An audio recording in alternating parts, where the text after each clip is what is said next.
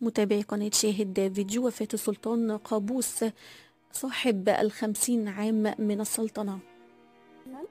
هذا التقرير يوضح من هم أبرز المرشحين لخلافة السلطان وسوف يكون اتفاق أم وصية تابعوا معنا الفيديو.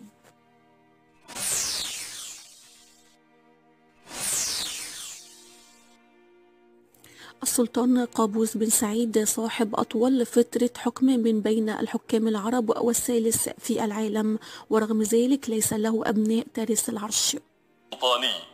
المغفور له بإذن الله تعالى مولانا حضرة صاحب الجلالة السلطان قابوس بن سعيد بن تيمور المعظم الذي اختاره الله إلى جواره مساء يوم الجمعة بتاريخ الرابع عشر من جماد الأولى لعام 1400 ولد سلطان قابوس بن سعيد في 18 نوفمبر سنة 1940 في مدينة صلالة بمحافظة ظفار وهو نجل سعيد بن تيمور الوحيد وهو ثامن سلاطين أسرة البوسعيد.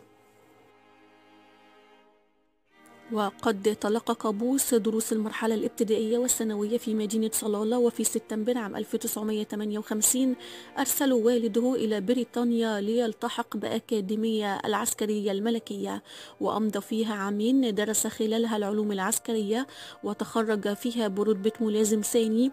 ثم انضم إلى الكتائب العامة في ألمانيا الاتحادية أينذاك لمدة ستة أشهر مارس خلالها العمل العسكري. تسلم حكم سلطنة عمان في 23 يوليو سنة 1970 خلفا لوالده السلطان سعيد بن تيمور وسرعان ما بدأت السلطة بالدخول في مرحلة جديدة من الإنجازات حيث شعرت بالتصدير التجاري للنفط والذي اكتشف بكميات تجارية عام 1968 وشهدت البلاد انتعاشا اقتصاديا مع بداية حكمه.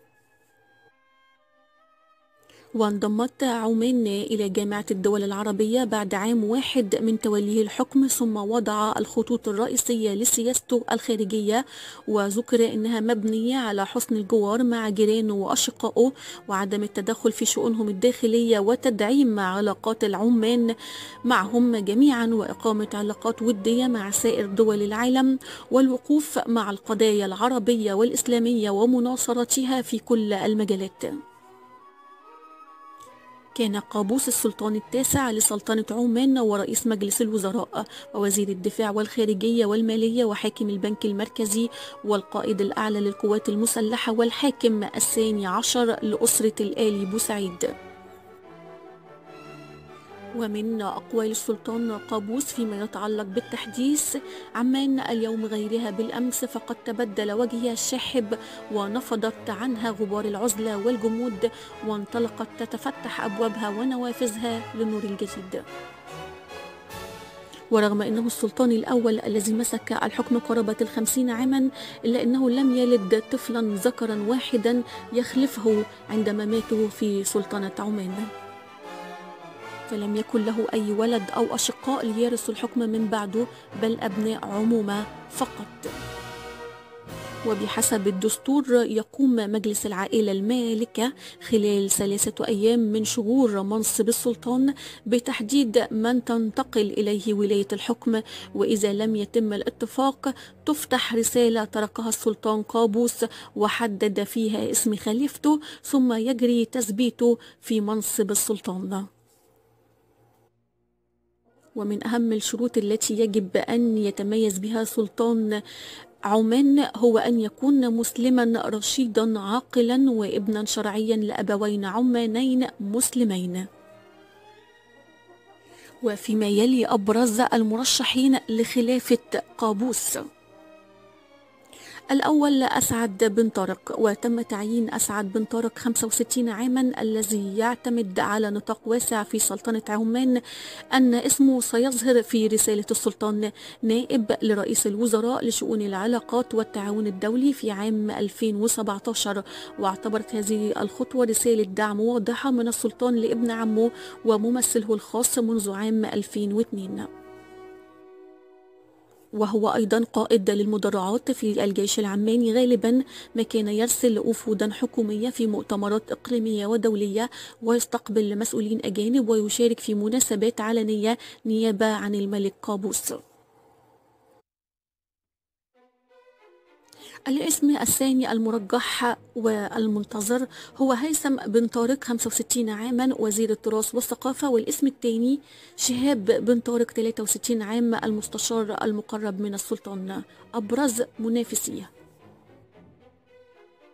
بالنسبة لهيثم بن طارق صاحب ال 65 عاما هو من محبي رياضة كرة القدم واشتغل بمنصب نائب وزير الخارجية قبل أن يصبح وزيرا للتراث والثقافة. كما إنه أول رئيس للاتحاد العماني لكرة القدم. أما شقيق شهاب بن طارق صاحب الثلاثة وستين عام هو القائد السابق للبحرية العمانية بمنصب أقل أهمية. فيتولى بشكل خاص نقل الرسائل إلى القادة الإقليميين وتمثيل السلطان في اجتماعات في اجتماعات عربية رفيعة المستوى. ويقال إن إحدى شقيقتهم كانت زوجة قابوس الوحيدة.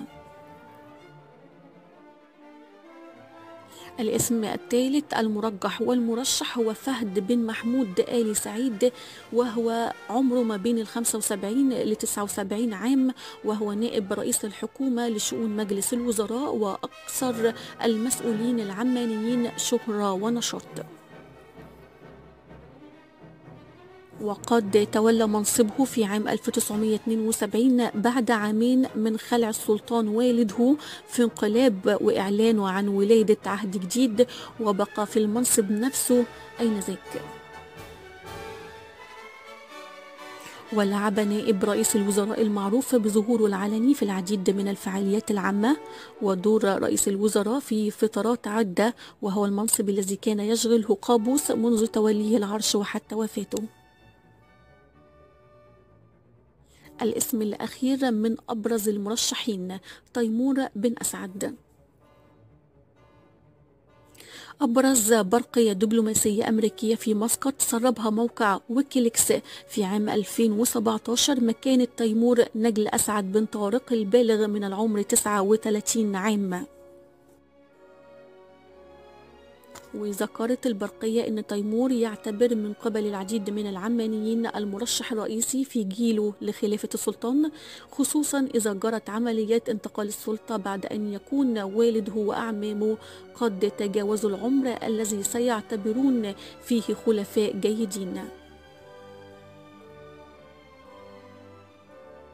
ولا يشغل تيمور أي منصب رسمي كبير. وفي الساعات القليلة القادمة سيكون وسيعلم العالم من هو السلطان الجديد لدولة عمان.